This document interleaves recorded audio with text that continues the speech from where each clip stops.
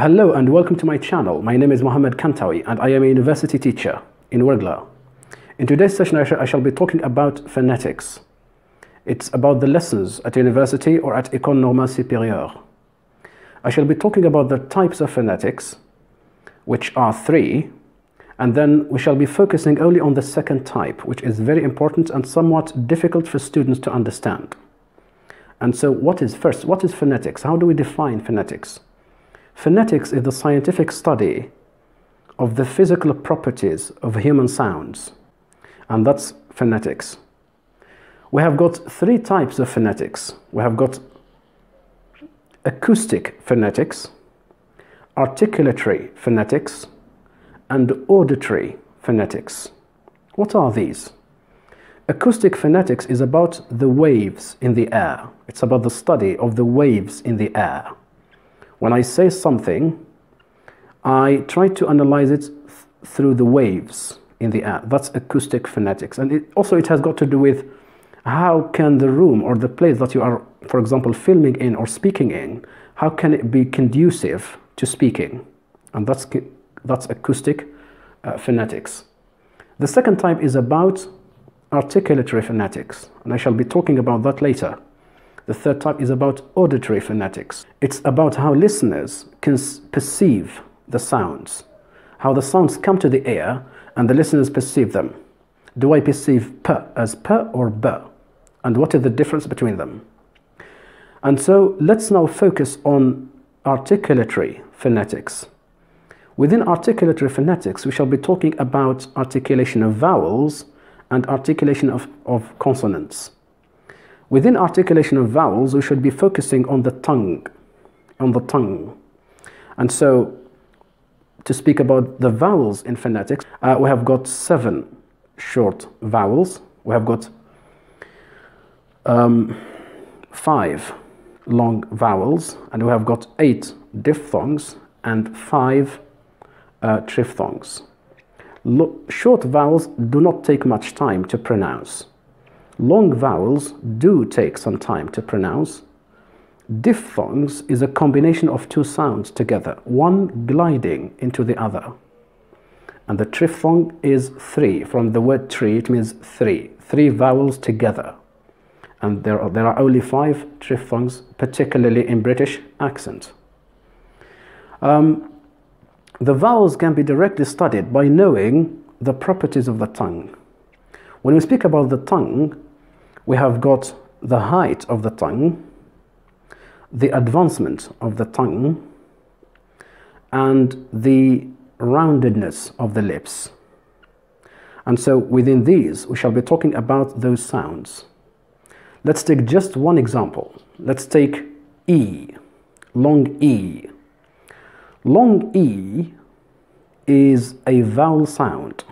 It is long first, and it is pronounced as high. How high? It means when, it, when I pronounce E, the tongue is high, not low or middle, or in the middle. So the tongue is high, not low, and not in the middle. Um, and this E is front. It means when I pronounce it, I feel that my tongue is advanced, forward. E. And this E, which is long E, is tense, not lax. So we have both. We have tenseness and laxity.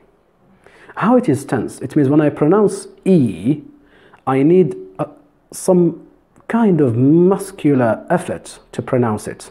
So it is tense, not lax.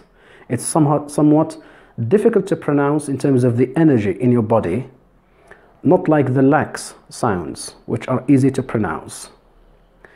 And when we speak about the roundedness of the lips, when I pronounce the sound E, do I find my lips rounded or no? Surely they are not rounded. E. There's no kind of roundedness to the lips. Unlike oo. Now, oo, you find your lips rounded. So the, the, the sound oo, the long oo, is rounded, while the sound E is unrounded. And that's about roundedness.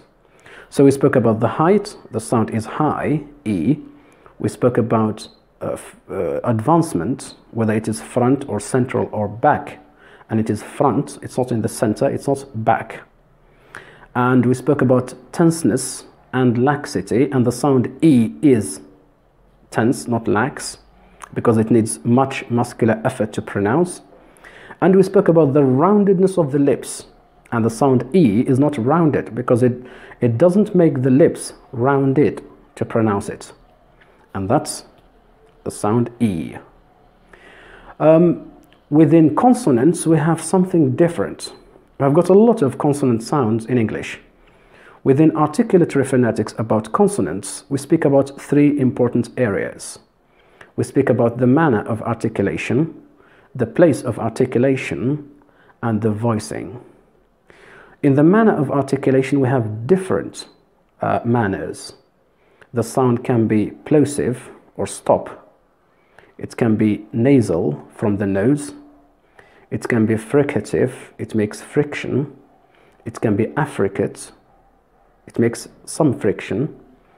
And it can be glide, a glide, as it can be a liquid.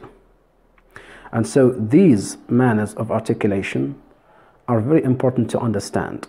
Let's repeat them. Plosive sounds like p, b, t, d, and k and g.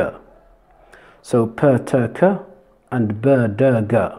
These sounds are plosives because when you pronounce them, you feel that there's an explosion in your mouth. P. Um, sounds which are fricative, we have got eight. Eight fricative sounds. What are they? f and v, s and z, th and the, and sh and j. And so these are fricative sounds, and they are eight. We have affricates, we have only two, two affricates, ch and j. And as you can notice, the affricate is a combination between a plosive and a fricative. Let's repeat, a plosive and a fricative. The plosive is t, and the fricative is sh. And so we say ch. And then we have got the plosive is d, and then the fricative is j. And when we combine them, we say j. So these are both uh, affricates, not fricatives. We have got nasals. Nasals we have only three. We have m and n and ng. This ng sound is a combination between the n sound and the k, or the n sound and the g. So the ng sound is a combination either between n and k or n and g. And that's a nasal. And also the sound m, it is a nasal. So we have only three nasals in English, m and n and ng. What about um, glides? Glides, we have two only also. We have w and y.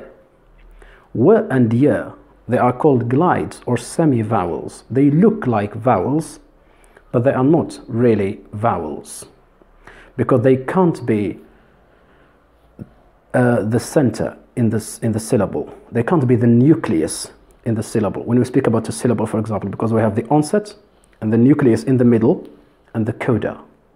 These are the three elements of a, uh, of a complete syllable. So w and y, since they do not accept to be in the center of the syllable, that's why we don't call them full vowel. They are not complete vowel, they are semi-vowels or glides. And we have got also liquids. Liquids are two, l and r. L and r. And these are the manner, these are the manners of articulation. So let's repeat the manners of articulation. We have got plosives or stops, fricatives, affricates, glides, and liquids, and nasals. So I've got six manners of articulation. Then within articulatory phonetics, we speak also about place of articulation, where the sound is pronounced, where, the place of articulation. And so we have different places of articulation. We have got bilabial, using the two lips, like p and b and m. We have got dental, using the teeth. You have got your tongue directly between the, the upper teeth and the lower teeth. Like for, for example, th and the. And these are dental, from the word, you know, den, dental, dentist. As you can notice, dental means teeth. And we have got um, alveolar, alveolar sounds. Alveolar sounds is when you have your tongue, the tip of the tongue touches the alveolar ridge behind your teeth, behind your teeth. Let's take an example, like t and d. So you can notice that when you pronounce d and t, you find your tongue, the front of the tongue or the tip of the tongue, or that place in the tongue touches the alveolar ridge just behind your teeth. And that's the alveolar. We have got also the velar. The velar is when the back of the tongue touches the soft palate, touches the, the soft palate. And we have the example of k and g. When you pronounce k and g, they are velar sounds from the word velum, you know, the soft palate or velum. And so you can notice that the back of the tongue touches the soft palate, and that's alveolar. Um, we have got also labiodental. Labiodental, as you can notice from the word labio from lip and dental from teeth. And we have got the example of f. So you can see the lower lip touches the upper teeth. They touch. And that's labiodental, both lip and teeth together. We have f and v. Both are labiodental. Um, we have got, normally that's it. And then we have got voicing. Voicing is about vibration of the vocal cords or the vocal folds. When you pronounce a certain sound, if the vocal folds vibrate, that means that the sound is voiced. If they don't vibrate, if, if they don't vibrate, that means the sound is voiceless. Let's take an example. Uh, p and b. Now, certainly when you pronounce p, it's a plosive, it's bilabial. It is unvoiced or voiceless because the vocal folds do not vibrate. But the sound b, there's a certain amount of vibration in the vocal folds. Let's take a better example, like s and z, z. And you can notice, s is voiceless and z is voiced because there's a vibration in the vocal folds. So that is about phonetics. We spoke about definition of phonetics, the types of the three types of phonetics, and we spoke about articulatory phonetics. Within articulatory phonetics, we have got articulation or pronunciation of vowels, and we have got pronunciation of consonants. In the pronunciation, pronunciation of vowels, we speak about the tongue, the frontness of the tongue, or the backness of the tongue, or the centrality of the tongue, whether it is high, or it is mid, or it's low. And we spoke about also um, articulation of consonants. We spoke about place of articulation and manner of articulation and voicing. Thank you so much and goodbye.